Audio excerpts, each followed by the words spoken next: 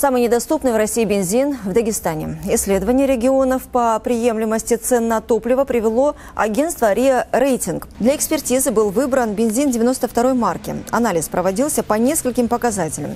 Это объем, который можно купить на среднюю месячную зарплату, цена на середину июля, а также изменение цены на топливо с начала этого года. По итогам выяснилось, что в Дагестане на чистую среднюю зарплату можно купить лишь 457 литров по цене 44 рубля за литр.